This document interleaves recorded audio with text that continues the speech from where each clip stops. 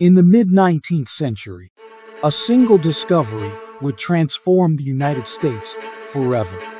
It would spark dreams of immense wealth and cause the largest migration in American history.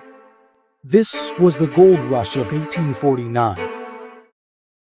It all began on January 24, 1848, when James Marshall discovered gold at Sutter's Mill in Coloma, California. He was working for John Sutter, building a sawmill along the American River, when he noticed shiny golden flakes in the water. To his surprise, the river was rich with placer gold. News of this gold discovery spread quickly across the United States and eventually the entire world. By 1849, tens of thousands of people, later known as 49ers, were on their way to California, hoping to strike it rich. They traveled from all corners of the globe, from the east coast of the United States, from Europe, Asia, and even Australia. Some took ships around the treacherous Cape Horn, Others crossed the Panama Isthmus, and many journeyed overland through rugged terrain. The journey took months, was dangerous, costly, and often deadly. Over 300,000 people would risk everything to take this perilous journey. Why were so many people willing to take such a risk? First, the news sparked gold fever. People believed they could easily find gold and become rich. This allure of quick wealth was a powerful motivator. Also, at the time, many regions in the United States and around the world were experiencing economic difficulties. Thus, the gold rush offered a chance to escape poverty or financial struggles and start anew. Lastly, for some, especially younger men, the gold rush represented an opportunity for adventure. Regardless of their motivation or how they arrived in California, the miners quickly learned that goldfields were no place for the faint of heart. They were rugged, harsh, chaotic, and often lawless.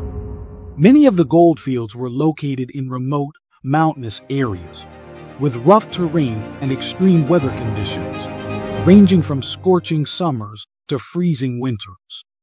The work was backbreaking, Early miners used simple tools like pans, picks, and shovels to sift through riverbeds and dig into the earth. This process was physically exhausting and required long hours of labor each day. The living conditions for miners were also rough. Miners lived in primitive conditions, typically in makeshift tents or cabins with limited access to food, clean water, leading to widespread disease and poor hygiene. Mining camps sprang up rapidly during the gold rush, leading to the development of nearly 500 mining towns across California. These towns were crowded, lacked proper sanitation, and were often lawless.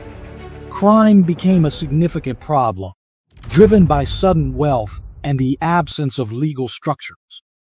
Theft was rampant, with miners constantly at risk of losing their gold, belongings, and supplies. In towns and in the countryside, many criminal gangs formed. These gangs engaged in robbery, claim jumping, and violence.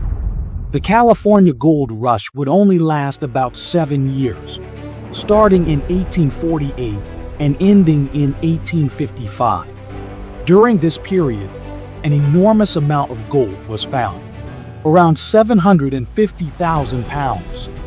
The total value of this gold in today's dollars would be over 30 billion. Unfortunately, only a very small percentage of miners actually struck it rich.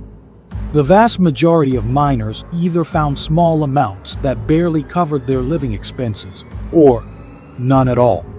Most miners left the goldfields with little to show for their efforts. Interestingly, the real wealth often went to those who provided goods and services to the miners, such as merchants, saloon owners, and suppliers. Though the gold rush was brief, it did have a profound impact on California and the entire United States. For instance, California's population exploded. In 1848, the population was about 14,000, and by 1855, it was over 300,000. San Francisco, once a small settlement, grew into a booming city. The rapid population growth led to California's admission to the Union as the 31st state in 1850. The gold rush also accelerated the development of infrastructure such as roads, railroads, and ports, which for the first time connected California to the rest of the country.